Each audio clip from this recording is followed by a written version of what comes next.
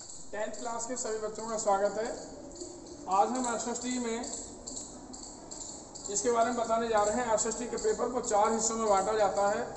पहला इतिहास, भूगोल नागरिक शास्त्र और चौथा हिस्सा आपका अर्थशास्त्र कहलाता है। ये आपको 278 पेज नंबर पर मिलेगा। हमारी ये बुक है।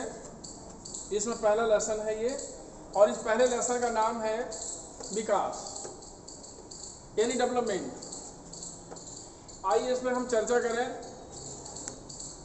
तो हम पाएँगे कि हर व्यक्ति अपना विकास चाहता है। चाहे वो गरीब है और चाहे वो अमीर है। अगर गरीब है तो आगे बढ़ने के लिए, औरों के लेवल में आने के लिए अपना विकास चाहता है और जो अमीर है वो अपना लेवल बनाए रखने के लिए लगातार मेहनत करता है। तो विकास का अर्थ यह है कि हम या मनुष्य अपने जीवन के प्रत्येक क्षेत्र में सुबह से लेकर रात होने तक और जन्म लेने से लेकर मृत्यु होने तक जितनी भी क्रियाएँ हैं, वो सब डेवलपमेंट के अंतर्गत ही आती हैं। खाना सभी खाते हैं, लेकिन उनके खाने का तरीका अलग है, उनकी डाइट में, भोजन में बहुत बड़ा अंतर मिलेगा। कपड़े सभी पहनते हैं, लेकिन उनके कपड़ों में अंतर मिलेगा, ये सब कुछ विकास पर है। पढ़ते सभी हैं, लेकिन सबके पढ़ने के तरीके में कौन आगे बढ़ गया, ये भी विकास पर डिपेंड है। बोलने चालने का तरीका, लिखने का, पढ़ने का, समाज में व्यवहार करने का, ये सब कुछ हमारे विकास पर डिपेंड करता है। यदि ऐसा ना होता तो समाज में दो वर्ग कभी नहीं होते, एक अमीर वर्ग और एक गरीब वर्ग।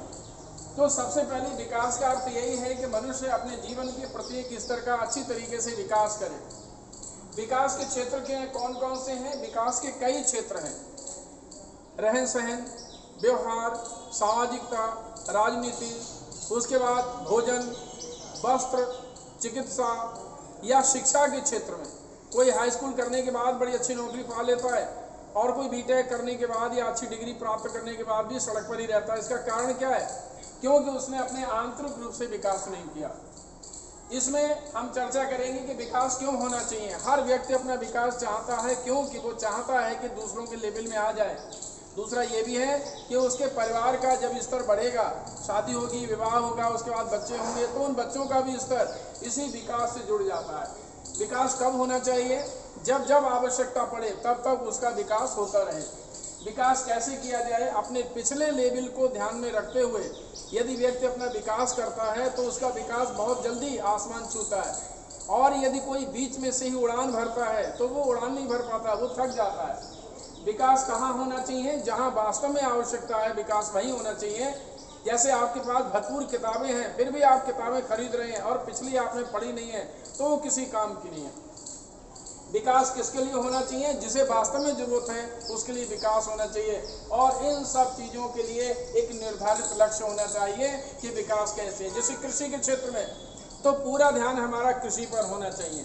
रहन सहन के क्षेत्र में तो पूरा ध्यान हमारा रहन सहन पर होना चाहिए। विकास का उद्देश्य क्या है? जीवन की सबसे मूलभूत आवश्यकताएँ जो मनुष्य की बताई गई हैं, रोटी, कपड़ा और मकान की बताई गई है। क्योंकि हमें हर चार या पाँच या छः घंटे बाद या कम से कम बारह घंटे बाद सुबह खा के शाम को भूख लगती है। उसके बाद कपड़ा। कपड़ा हमें हर बारह घंटे बाद नहीं चाहिए, कम से कम एक दिन हम चला सकते हैं। उसके बाद मकान। हमें रोज नहीं चाहिए। एक बार बनवा लिया तो ज़िंदगी भर के लिए वो हो जाता है। और इस रोटी में भोजन और भोजन हमें अन्न से प्राप्त होता है और अन्न कृषि से प्राप्त होता है और कृषि के क्षेत्र में हरित क्रांति इसलिए लाई गई थी कि कृषि के क्षेत्र में विकास होता रहेगा। हरित क्रांति से कृषि का सुधार होता रहेगा, अन्न मिलता रहेगा, भोजन मिलता रहेगा और जीवन की पहली आवश्यकताएँ पूरी होती रहेंगी।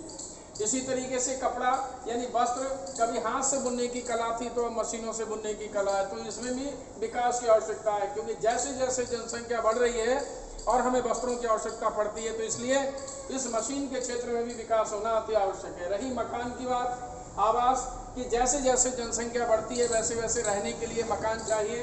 यहाँ मकानों तक पहुँचने के लिए हमें मार्ग चाहिए। वे मार्ग चाहे सड़क मार्ग है, चाहे रेल मार्ग है, चाहे जल मार्ग है। तो इन सब में भी विकास जब होगा, याद करिए और नज़र डालिए दिल्ली, बॉम्बे कैलकाटा या महानगर जितने भी हैं, वे सब इस क्षेत्र में सबसे आगे हैं। वे सब इस क्षेत्र में सबसे आगे हैं और वे सब इस हरित क्रांति के क्षेत्र से, जैसे हरियाणा और पंजाब गेहूँ के लिए या अन्य उत्पादन के सबसे आगे रहता है। इसका मतलब विकास बहुत आवश्यक है। हरित क्रांति की बात करें तो हरित क्रांति का मतलब है कृषि के कार्यों में सुधार होना। हरित क्रांति इसीलिए बार बार आती है क्योंकि जीवन की सबसे पहली आवश्यकता रोटी यानी भोजन से प्राप्त होती है। कृषि कार्य सुधार करने के लिए हमें आवश्यकता है कि खेतों को समतल बनाकर सिंचाई की व्यवस्था करी जाए। हर खेत में हर किसान का अपना ट्यूबवेल हो, जिससे कि वो दूसरों पर पानी के लिए निर्भर ना रहे। उर्वरक यानी खाद, उपजाऊपन, क्योंकि लगातार हम फ़सल का उत्पादन कर रहे हैं तो कृषि की उर्वरा शक्ति समाप्त हो जाती है, ऐसे में हमें कृत्रिम फर्टिलाइज़र की आवश्यकता पड़ती है। चकबंदी, हर तीस साल बाद बड़े बड़े खेतों को छोटे छोटे खेतों को मिलाकर एक कर दिया जाता है। बहुत से किसान ऐसे हैं जो गरीब थे, जिन्होंने जगह जगह बहुत से खेत ले रखे हैं।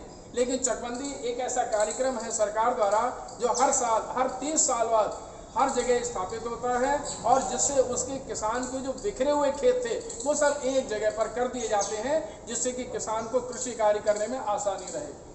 इन सब का उद्देश्य क्या है कि बाज़ार नज़दीक रहे तो फ़सल का जो भी उत्पादन होगा, वो अधिक से अधिक बिकता रहेगा, समय से बिक जाएगा तो उसका लाभ भी किसान को प्राप्त होगा।